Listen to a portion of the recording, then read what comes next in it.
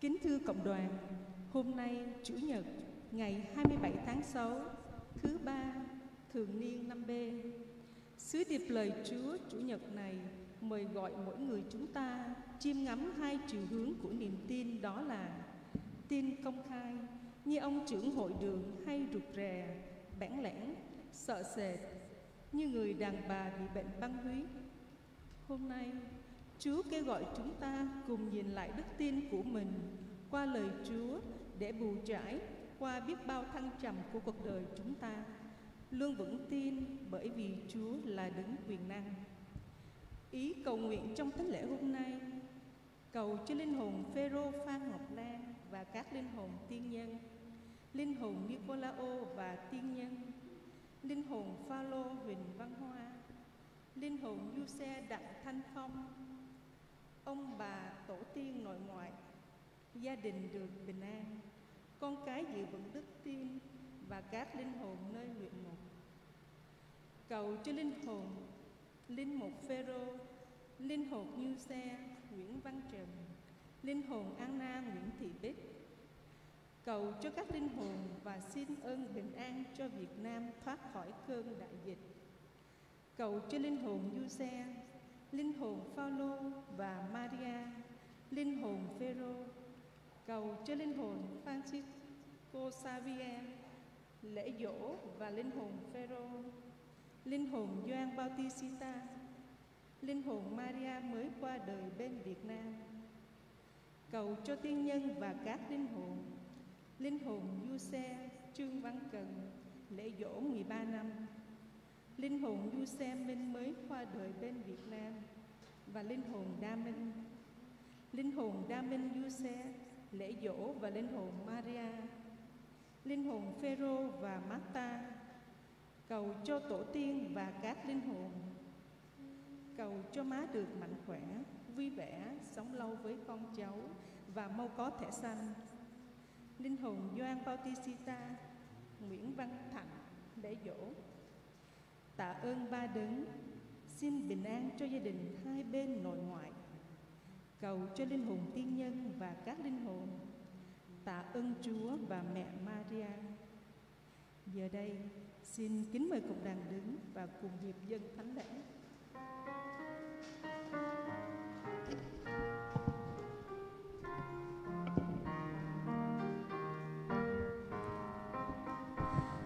Muôn phương ta về đây sánh vai lên đường đường đưa ta đi lên đền chúa ta.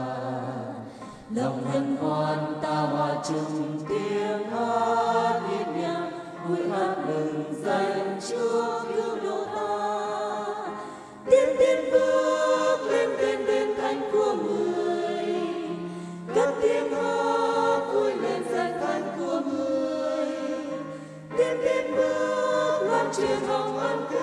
Của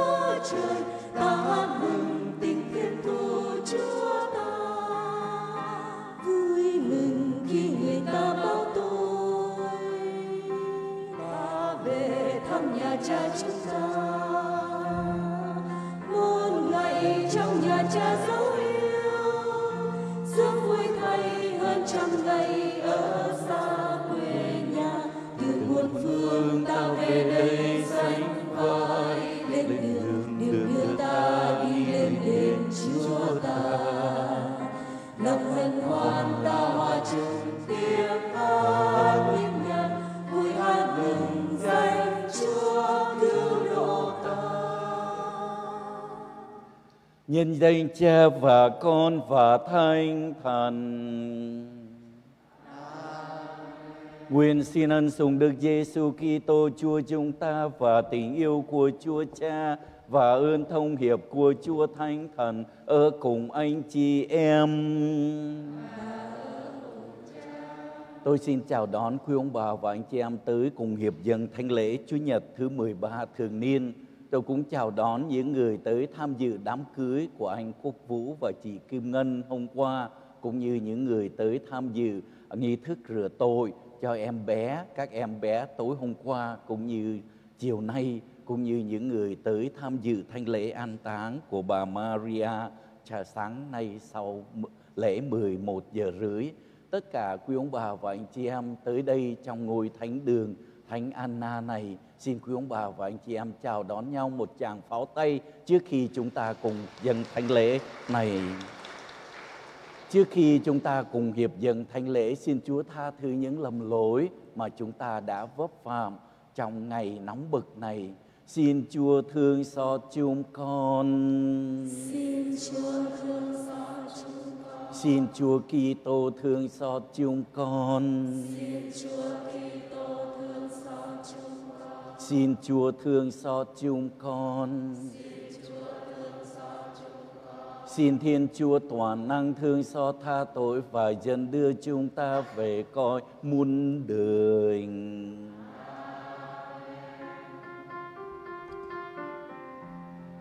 Vinh danh Thiên Chúa trên các tầng trời. Và bình an dưới thế cho người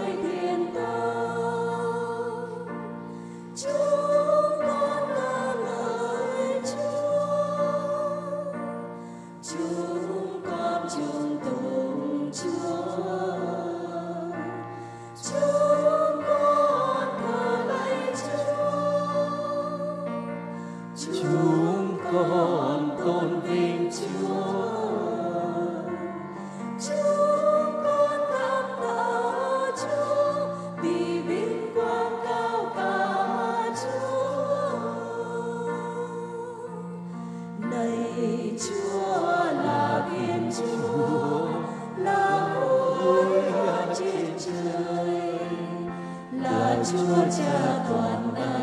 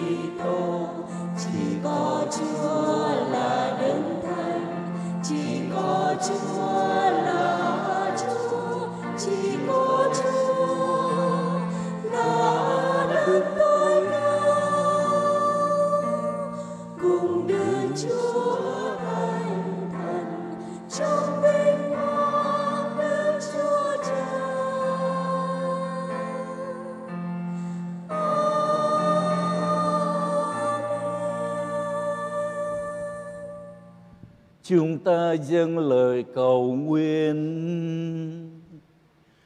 lời Thiên Chúa toàn năng, nhờ Đức Kitô con một Chúa, Chúa đã thương cứu chuộc chúng con và nhân làm nghĩa tư.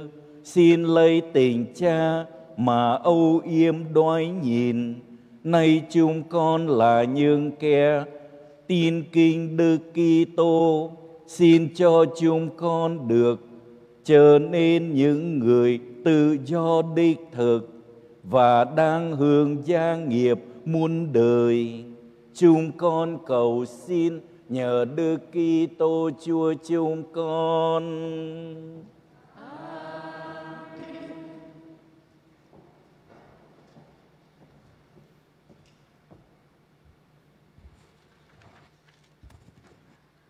Bài trích sách khôn ngoan. Thiên Chúa không làm ra cái chết Chẳng vui gì khi sinh mạng tiêu vong. Vì người đã sáng tạo muôn loài cho chúng hiện hữu. Mọi loài thọ tạo trên thế giới đều hữu ích cho sinh linh. Chẳng loài nào mang độc chất hủy hoại. Âm phủ không thống trị địa cầu. Quả vậy, đức công chính thì trường sinh bất tử. Phải, Thiên Chúa đã sáng tạo con người, cho họ được trường tồn bất diệt.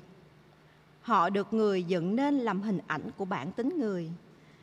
Nhưng chính vì quỷ dữ ganh tị mà cái chết đã xâm nhập thế gian. Những ai về phê nó đều phải nếm mùi cái chết. Đó là lời Chúa.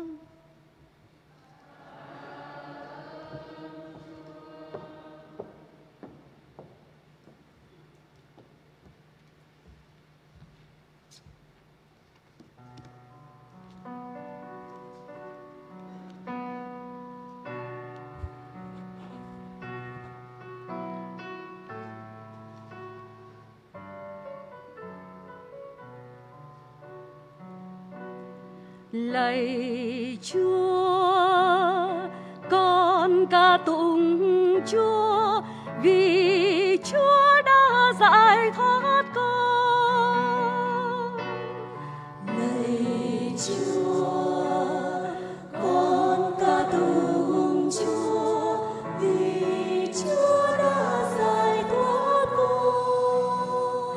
con xin tán dương ngài, lạy Chúa vì đã thương cứu vớt không để quân thù đăng chi nhạo cười con. Từ âm phủ ngài đã hát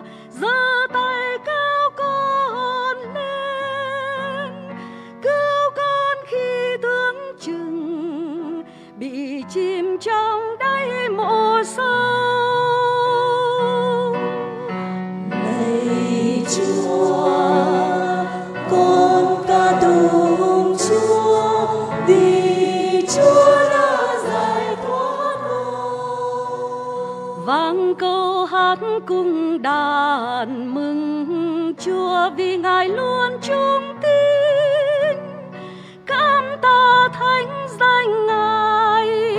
Khi đêm xuống hoặc hừng đông, ngài nỗi giận dây lan nhưng yêu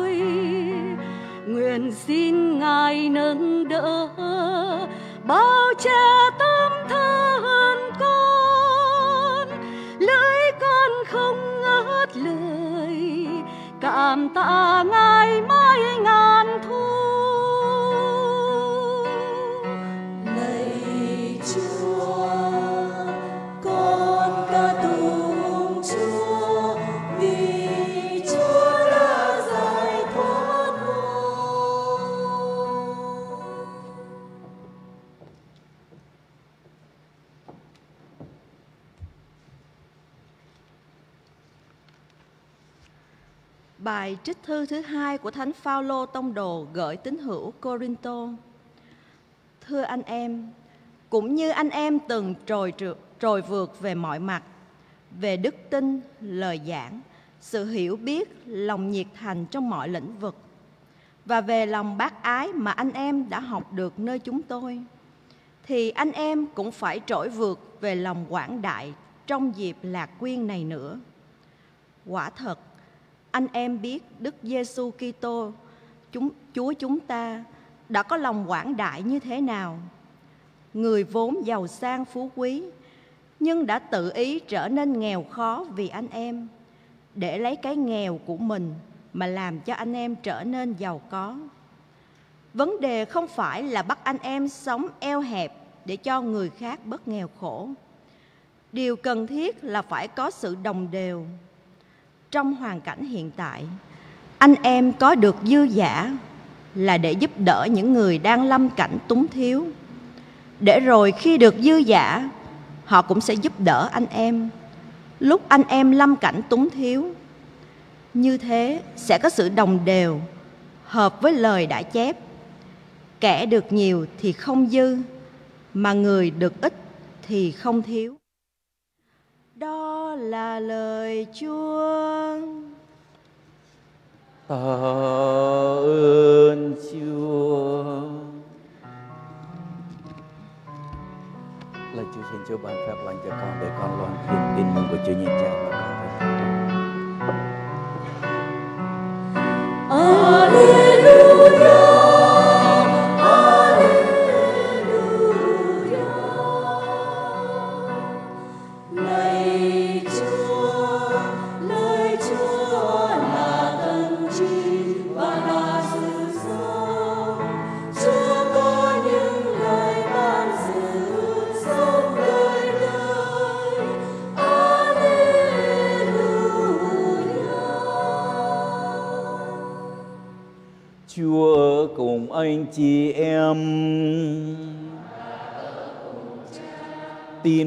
Chúa Giêsu Kitô theo Thánh Marco.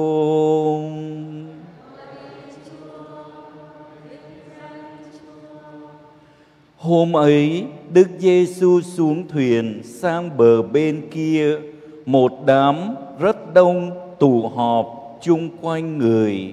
Lúc đó, người đang ở trên bờ biển hồ, có một ông trưởng hội đường tên là Gia gia đi tới, vừa thấy Đức Giêsu ông ta sụp xuống dưới chân người và khẩn khoản, này xin, con bé nhà tôi gần chết rồi, xin ngài đến đặt tay lên cháu để nó được cứu chữa và được sống. Người liền ra đi với ông, một đám rất đông đi theo và chạ, và chen lấn người. Có một bà kia bị băng huyết đã 12 năm. Bao phen khổ sở vì chạy thầy chạy thuốc đã nhiều. Đến tận tận gia bại sản mà bệnh vẫn không thuyên giảm. Lại còn thêm nặng là khác. Được nghe đồn đến Đức Giêsu bà lách qua đám đông, tiến đến phía sau. Người và sờ vào áo choàng của người.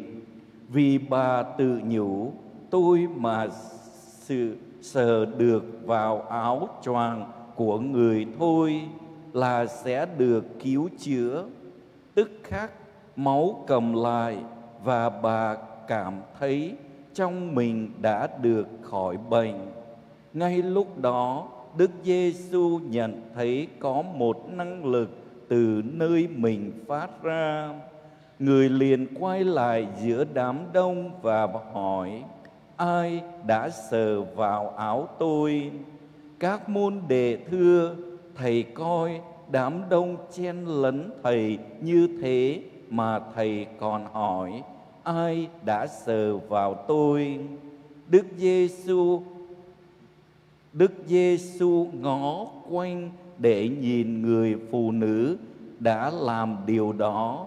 Bà này sợ phát sợ phát run lên vì biết cái gì đã xảy đến cho mình.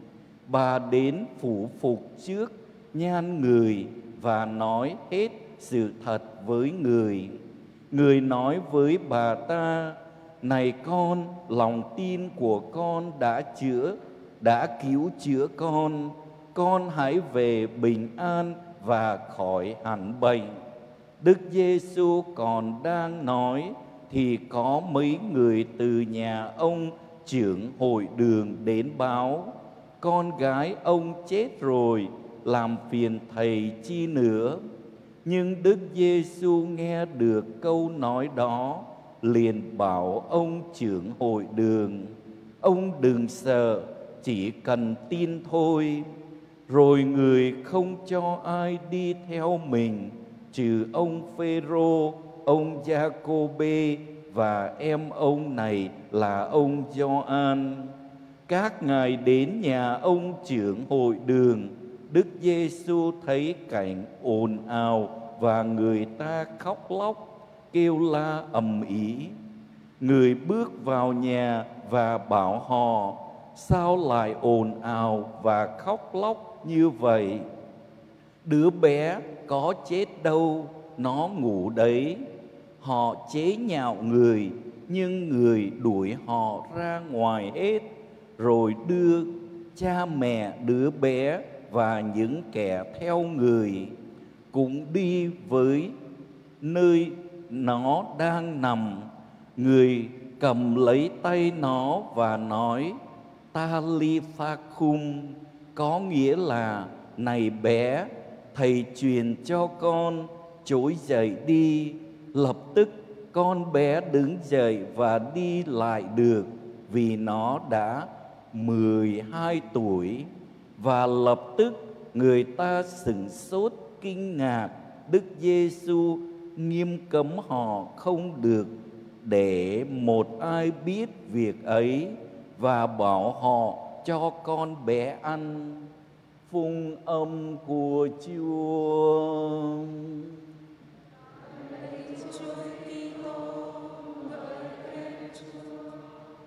Tôi chào đón quý ông bà và anh chị em tới cùng hiệp dân thánh lễ Chúa Nhật thứ 13 quanh năm.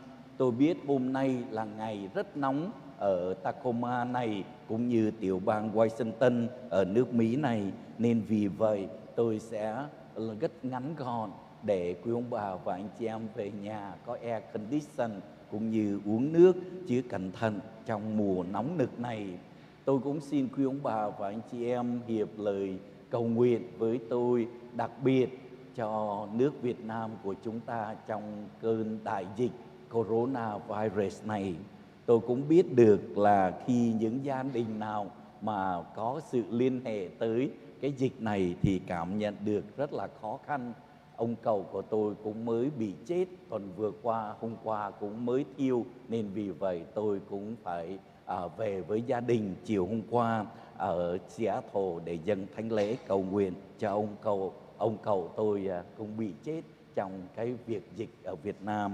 Nên vì vậy quý ông bà và anh chị em thấy ở Mỹ này chúng ta có vaccine à, có thuốc ngừa mà nhiều người lại không chích còn Việt Nam thì muốn thuốc mà cũng không có thuốc để mà chích nên rất nhiều người cũng đang lo lắng trong kỳ dịch bệnh này quý ông bà và anh chị em cũng biết rằng là chúng ta đây tới với Chúa qua thánh lễ là một nghi thức rất quan trọng. Chúa hiện diện với chúng ta trong bí tích thánh thể này cũng như quý ông bà và anh chị em theo dõi tin tức ở nước Hoa Kỳ này nhất là ở đạo công giáo của chúng ta. Hội đồng giáo mục mới họp hai tuần vừa qua quý ông bà và anh chị em cũng biết được trong cái cuộc bầu cử trong hội đồng à, nói về vấn đề rước lễ rồi cả hai ba tiếng đồng hồ tham khảo thảo luận mà các giáo mục Hoa Kỳ cũng nhức đầu nhức óc nên phải quyết định trong cái bầu với nhau, là vốt với nhau, là không cho tổng thống Biden rước lễ. Nên quý ông bà và anh chị em thấy rằng vấn đề đạo của chúng ta rất quan trọng. Nói về tuyên xưng niềm tin vào Chúa. Trong bài đọc một, quý ông bà và anh chị em đã nghe qua, Chúa tạo dựng tất cả với ý tốt là cho cuộc sống chứ không cho sự chết tội lỗi đã tới với chúng ta, nên sự chết cũng tới với chúng ta. Chúa luôn luôn lòng thương xót, rất từ bi với chúng ta, nên bài đọc hai lời của Chúa cũng nhắc nhở cho mọi người chúng ta. Dù sống trên đất nước rất phồn thịnh, rất giàu có, hoặc sống trong đất nước nghèo khó, người giàu, người nghèo, chúa đều ban tất cả những ân huệ rất đặc biệt người giàu làm việc nhiều, họ cũng chả có nhiều tiền đâu, quý ông bà và anh chị em. Cứ nghĩ rằng giàu, nhưng thật sự giàu cũng đầy đủ những gì họ làm, những cái công việc của họ. Nghèo Chúa cũng trả cho chúng ta phải khổ sở. Chúng ta cũng dư dầy không được dư dầy nhiều, nhưng cũng đầy đủ những gì chúng ta cần thiết. Trong bài đọc 2 chúng ta nghe qua, khi có niềm tin cậy trông vào Chúa Chúa luôn luôn che chở mỗi người chúng ta trong câu chuyện của phúc âm hôm nay, có ba việc chúng ta thấy rất là quan trọng mà chúng ta thấy rằng ông trưởng hội đường này có lòng tin tới với Chúa để xin Chúa chữa lành cho người con gái 12 tuổi của ông đang chết. Ông tới thì câu chuyện lại bị cắt ngang là một bà bị băng huyết cũng đang muốn được Chúa chữa nhưng cũng là không dám động vào Chúa, không muốn tới gặp Chúa nên bà chỉ nghĩ rằng nếu tôi đụng vào áo của Ngài thì tôi sẽ được chữa lành. Thì đó là những câu chuyện chúng ta nghe qua khi ông trưởng hội đường này tới thì chưa kịp gặp Chúa đã có người báo từ nhà tới thôi đừng phiền Chúa làm gì nữa. Con của ông chết rồi, nên thôi bỏ đi. Nhưng lòng tin của ông cũng vẫn muốn tới để gặp Chúa. Chúa nghe qua nói không, con bé nó đang ngủ, nên vì vậy đi, Chúa đưa muôn đề của Chúa cùng gia đình tới gặp em bé. Đỡ em bé dậy, cho em bé cuộc sống trở lại. Rồi mọi người khi Chúa tới nói rằng, ông này làm gì con bé nó chết rồi rồi mọi người khóc lóc, ồn ào đủ thứ nhưng khi rất ngạc nhiên, Chúa đã cho cuộc sống trở lại. Lòng tin mà mỗi người chúng ta có được rất quan trọng, nên trong thời kỳ đại dịch này cũng vậy. Có những người, Chúa tới với chúng ta ở đất nước Hoa Kỳ phồn thịnh, có vaccine nhưng chúng ta có nhiều người cũng không muốn chích nữa rồi nói rằng than phiền Chúa ơi sao mà bệnh hoạn này tư lung tung vậy nhưng chúng ta có những cái mà Chúa gửi tới cứu chữa chúng ta, chúng ta có chấp nhận hay không? Quý ông bà và anh chị em cũng biết trong hạt của chúng ta này cũng như trong các giáo xứ lân cận Saint Peter de Paul ở trên đường Portland đây hai tuần vừa qua, khi ông bà và anh chị em nghĩ rằng chắc rằng bệnh dịch hết rồi, không cần phải lo lắng gì. Giáo xứ đang phải đóng cửa. Cha xứ nằm trong nhà thương, đám cưới phải đưa qua visitation làm tuần vừa qua, rửa tội đưa tới giáo xứ chúng ta đây để rửa tội. Chúa luôn luôn đồng hành với chúng ta nếu chúng ta tin tưởng cũng như cộng tác với Chúa qua các lời mà Chúa huấn dạy cho chúng ta cũng như cuộc sống của mỗi người chúng ta đang có. Hãy tạ ơn Chúa những ơn lành Chúa đồng hành hãy có niềm tin vào Chúa, hãy cộng tác với Chúa, hãy tới với thánh lễ vì sự hiện diện của Chúa Kitô trong bí tích thánh thể rất quan trọng. Tuy rằng trong xã hội cuộc sống chúng ta đã có những khó khăn thử thách nhưng Chúa luôn luôn đồng hành với mỗi người chúng ta. Giờ đây, xin quý ông bà và anh chị em đứng để chúng ta cùng tuyên xưng đức tin vào Chúa Kitô. Tôi tin kính một Thiên Chúa.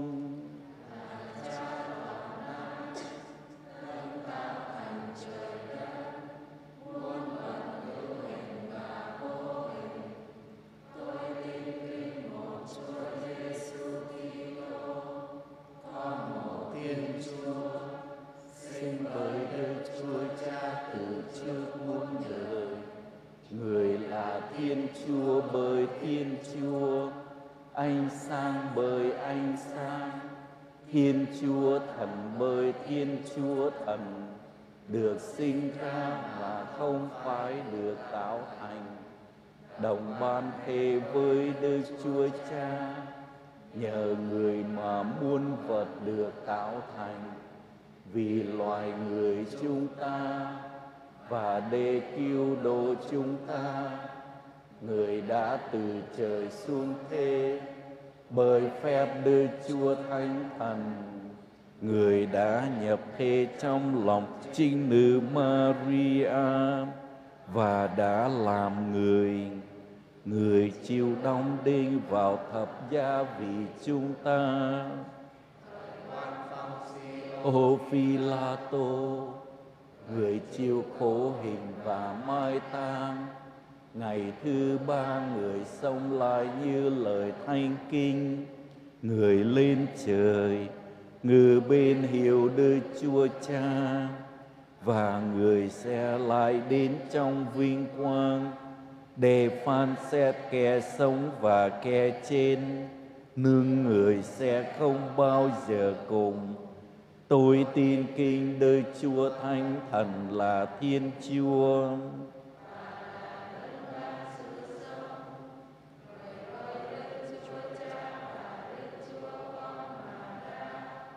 Người được phụng thờ và tôn vinh cùng với Đức Chúa Cha và Đức Chúa Con.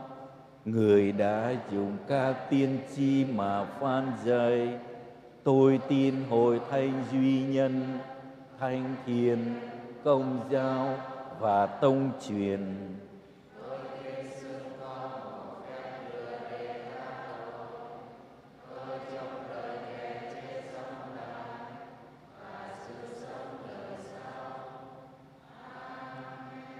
Anh chị em thân mến, khi rao giảng tin mừng Đức Giêsu đã chữa lành bệnh tật cho những ai tin tưởng người luôn tin tưởng vào quyền năng của Chúa, chúng ta cùng dâng lời cầu xin.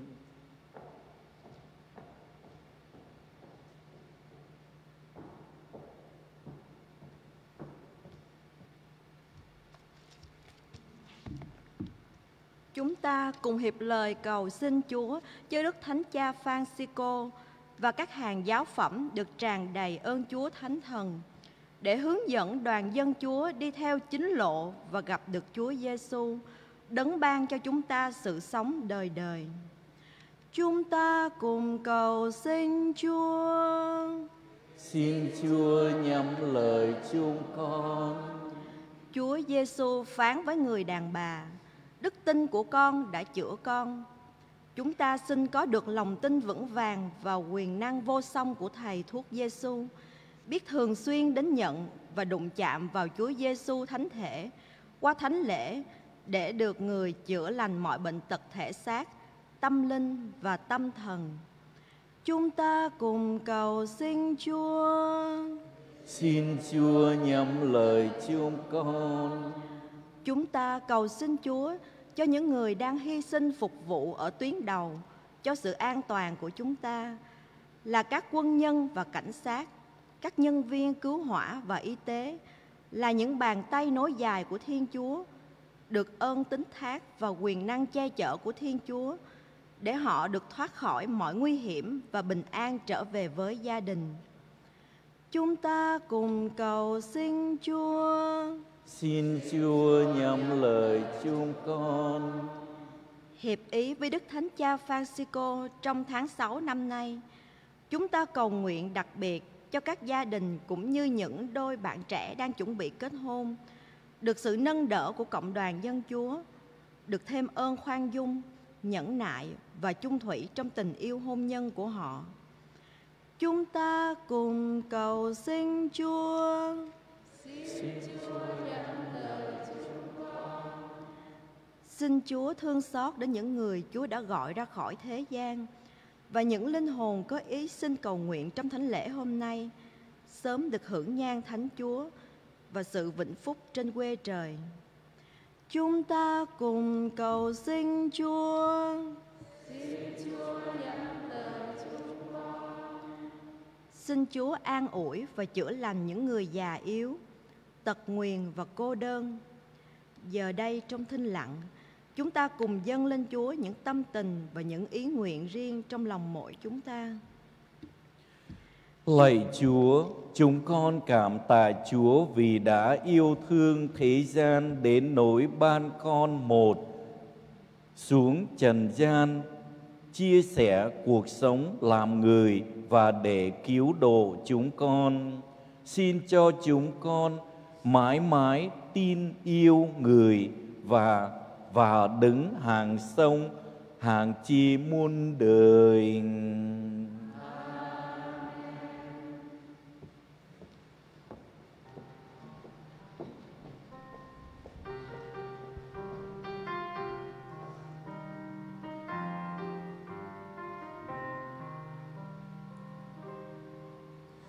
Của lễ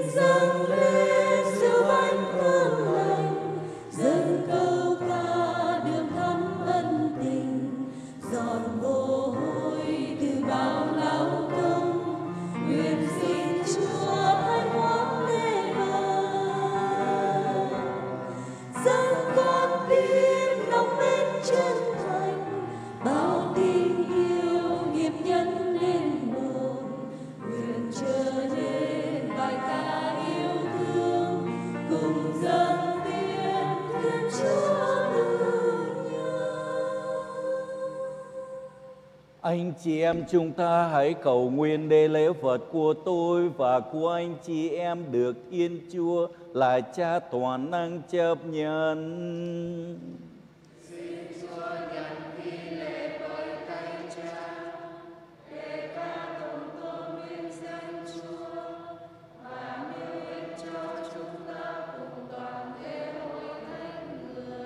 Lạy Thiên Chúa, uy linh cao ca, Chúa làm cho chúng con biết nhiệt thành, phụng sự Chúa và sống hòa thuận thương yêu nhau. Ước chi của lễ này giúp chúng con tôn thờ Chúa cho phai đạo và ước chi tiệc thanh chúng con cùng nhau chia sẻ, thúc đẩy chúng con nên ý hợp tâm đầu chúng con cầu xin nhờ Đức Kitô Chúa chúng con. Chúa ở cùng anh chị em. Hãy nâng tâm hồn lên. Hãy tạ ơn Chúa là Thiên Chúa chúng ta. Lạy Cha Chi Thánh, nhờ con yêu quý của Cha là Chúa Giêsu Kitô, chúng con tạ ơn Cha mọi nơi mọi lúc thật là chính đáng, phải đạo và đem lại ơn kiêu đồ cho chúng con. Người là ngôi lời của Cha, nhờ người Cha đã tạo dựng muôn loài, người được Cha sai đến làm đấng kiêu đồ và chuộc tội chúng con. Người đã nhập thể bởi phép Chúa Thánh Thần và được Đức Chiên Nữ sinh ra để chu toàn thanh ý cha và để gây dựng cho cha một dân tộc thanh thiên. Người đã giang tay chịu khổ hình để tiêu diệt sự chết và biểu hiện sự sống lại. Vì thế, cùng với các thiên thần và toàn thể các thánh, chúng con ca tụng vinh quang cha và đồng thanh tung hô rằng Thánh, Thánh, Thánh.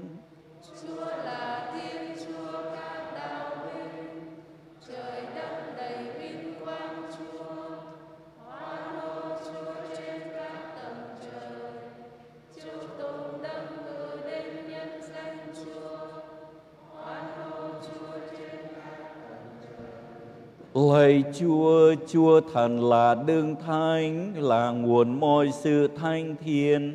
Vì thế chúng con này xin Chúa dùng ơn thanh thần Chúa thanh hoa những của lễ này để trở nên cho chúng con mình và mau được Giêsu Kitô Chúa chúng con khi tự nguyện nộp mình chịu khổ hình người cầm lấy bánh ta ơn bè ra và trao cho các môn đệ mà nói tất cả các con hãy nhậm lấy mà ăn, vì này là mình thầy sẽ bị nộp vì các con.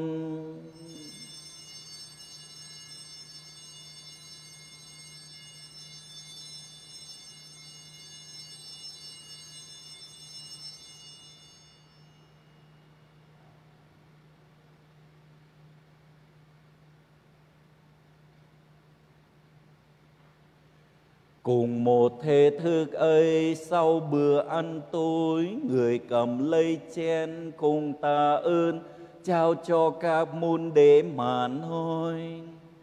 Tất cả các con hãy nhậm lấy mà uống, vì này là chén máu Thầy, màu giao ước mới và vinh kiêu sẽ đổ ra cho các con và nhiều người được tha tội các con hãy làm việc này mà như đến thầy.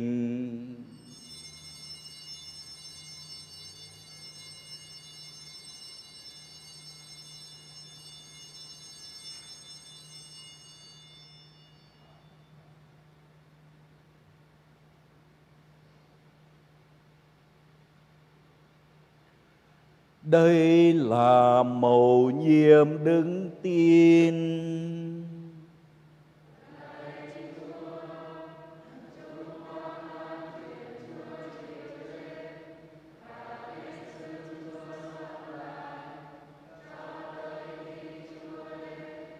Vì vợ lời Chúa khi kinh nhớ con Chúa chịu chết và sống lại, chúng con dâng lên Chúa bánh trường sinh và chen kiêu đồ đề ta ơn Chúa, vì Chúa đã thương cho chúng con được xứng đáng, hầu cân trước tôn nhan và phụng sự Chúa.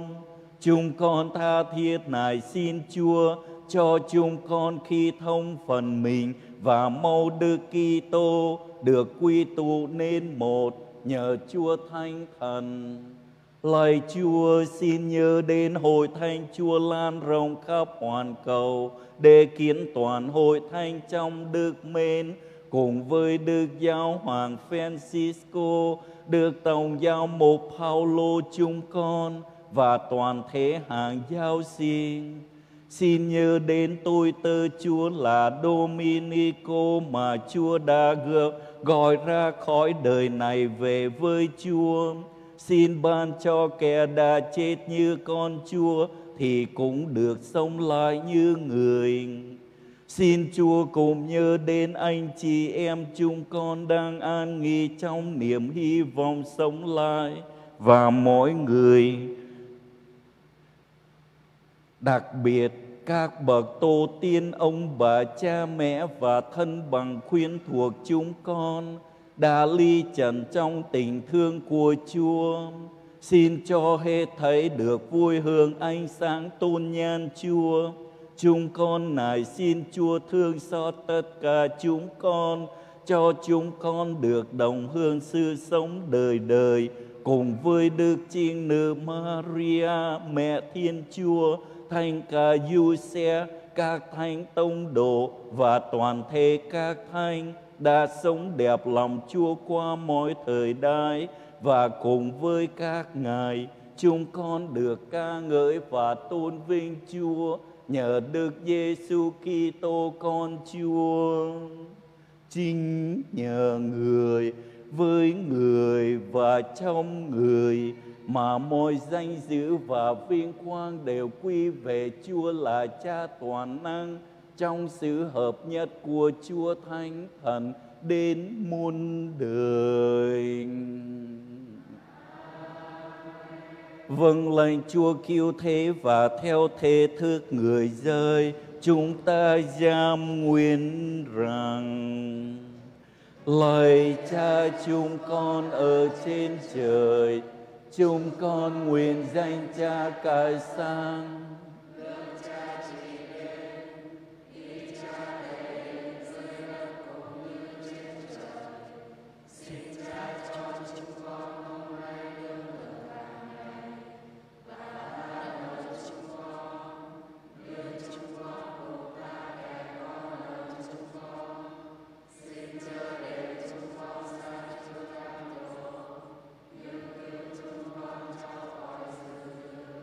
Lạy Chúa, xin cứu chúng con khỏi mọi sự dư, xin đoái thương cho những ngày chúng con đang sống được bình an. Nhờ Chúa rộng lòng thương cứu giúp, chúng con sẽ luôn luôn thoát khỏi tội lỗi và được an toàn khỏi mọi biên loạn.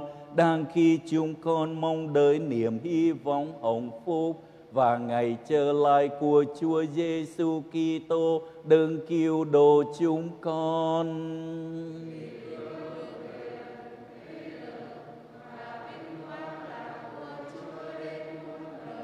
Lạy Chúa Giêsu Kitô, Chúa đã nói với các tông đồ rằng Thầy để lại bình an cho các con. Thầy ban bình an của Thầy cho các con. Xin đừng chấp tội chúng con, nhưng xin nhìn đến đức tin của Hội Thánh Chúa. Xin đoái thương ban cho Hội Thánh được bình an và hợp nhất theo Thánh ý Chúa. Chúa hàng sông và hiên chi muôn đời. Bình an của Chúa ở cùng anh chị em. Anh chị em hãy chúc bình an cho nhau.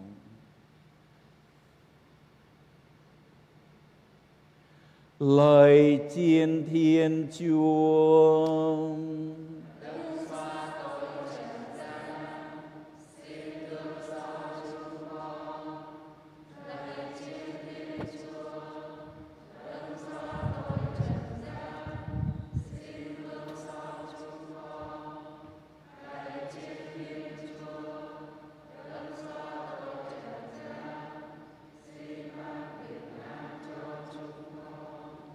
Đây chiên thiên chúa, đây đừng xóa tội trần gian, phục cho ai được mời đến giữ tiệc chiên chúa.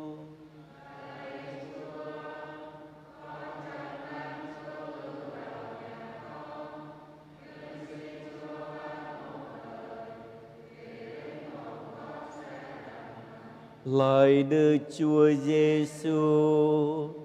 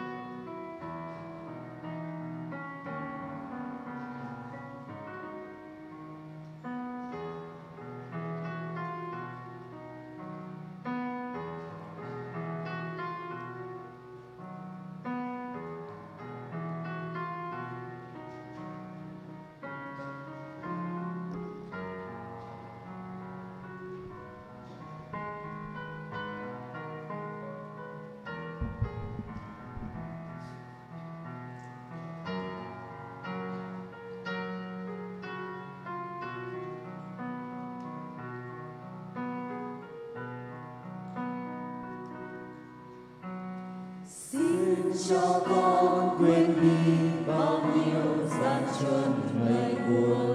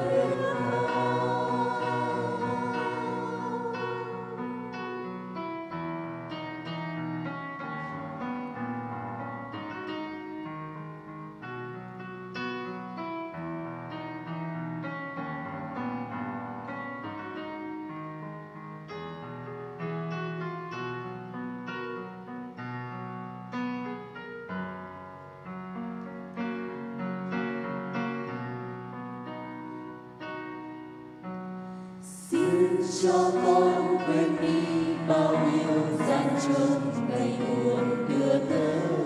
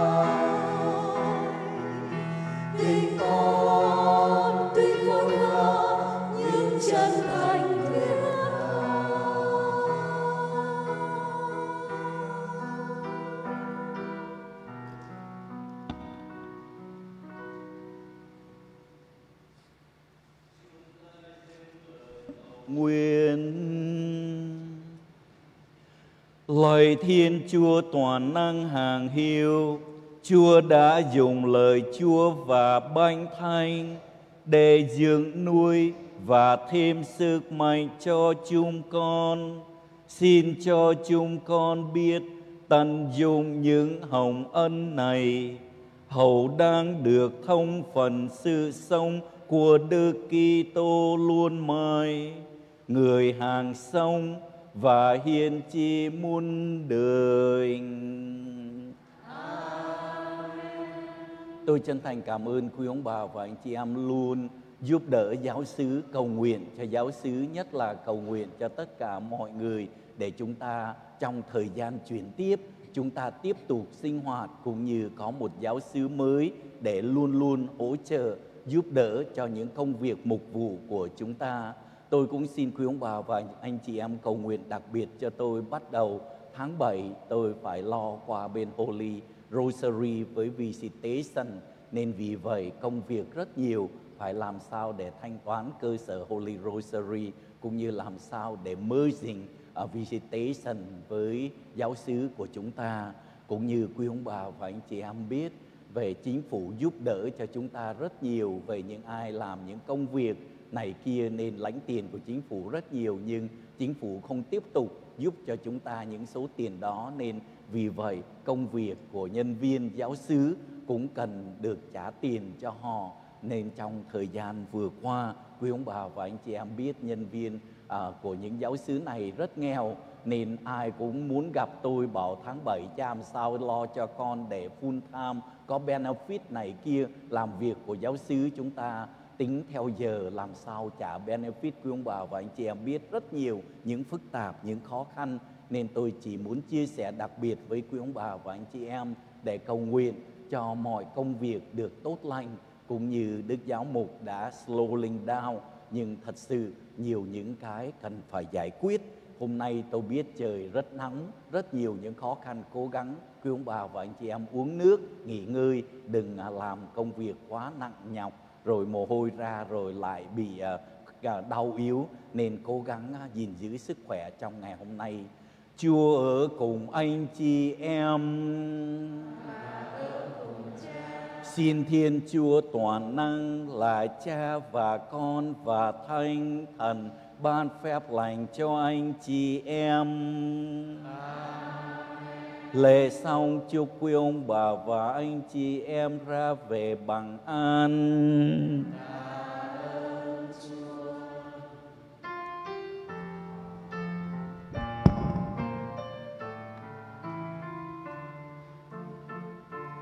chúng con xin tạ ơn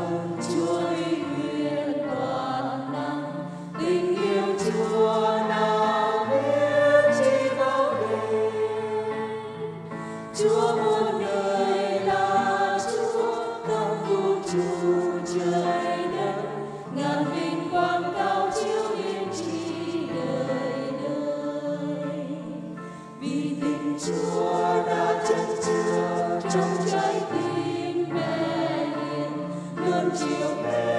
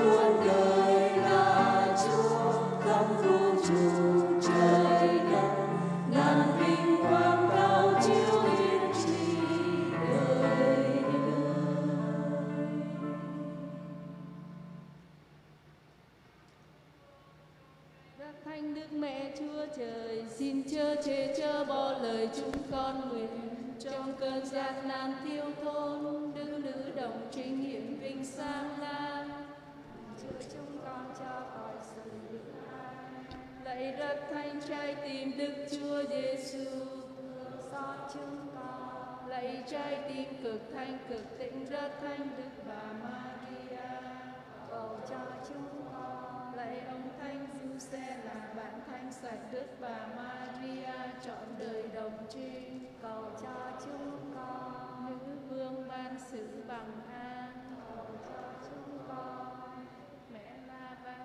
cầu cho chúng con.